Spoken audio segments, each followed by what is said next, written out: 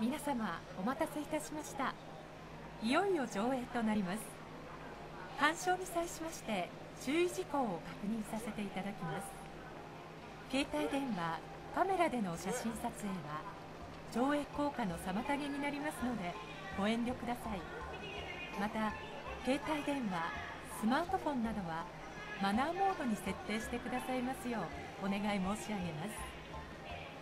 それでは最後までごゆっくりとお楽しみください。